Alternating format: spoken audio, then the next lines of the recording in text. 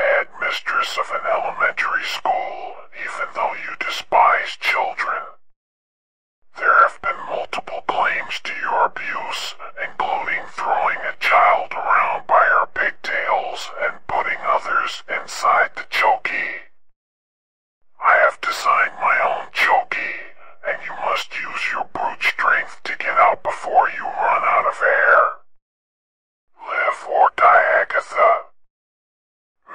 choice.